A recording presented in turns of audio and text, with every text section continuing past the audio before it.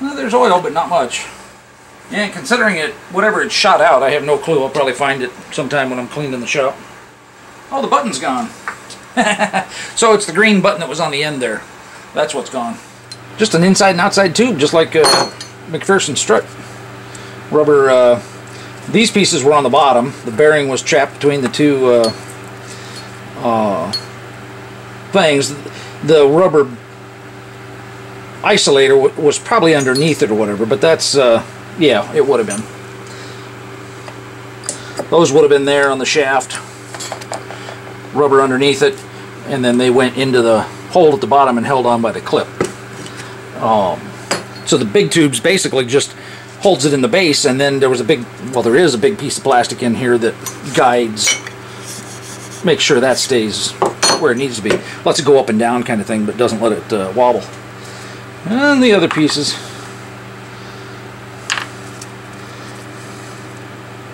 So, cool. Oh, hey, there's the green button.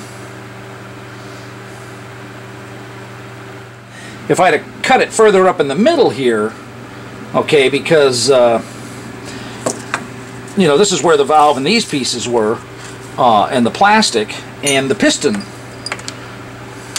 that piece. And yeah, would have been like that. So had I cut another inch higher, I would have cut into about here, and that would have made it go vent the pressure and everything like that. Uh, but where I cut it, I was still above this. So once I got completely through, then I had this clamped down with the with the vice grips. But if not, it would have just went. It, it probably would have. It would have shot out some, but the, the bandsaw blade was blocking this from coming out. So this thing probably would hit the bandsaw blade, shot up, went all over the place. Cool stuff. This ain't as exciting or as fun or anything like that as AVE's uh, videos. If you guys haven't checked him out, AVE, uh, used to be Arduino versus Evil, and then he changed it up a little bit because he doesn't do as much with uh, Arduino anymore. Uh, but that uh, that channel's a hoot. Oh my god, man, he's got some funny ass shit on there, and and educational shit too. It's just, uh, so this is the kind of thing you know he probably would have done. He probably would have done it in a way that you know you could put it back together and actually use it. Uh, but anyway, I figured out the valve here. Okay, the the pistons inside the the the little tube there. Okay, this sealed to the end of the little tube, and then the outer one sealed to the inside of the big tube. Okay, so there is a hole here, and what it does is when you push the green button in, it pushes this little plunger down. Okay, and the valve is right there. See the see the smaller diameter? When it's all the way in, it's not sealing at the metal. It's sealing above and below that small spot in the rubber inside here in the O-rings. Okay, so all the way closed, nothing gets out. But when you push that open, that lets air pressure escape through here, out that little hole, and into the big tube.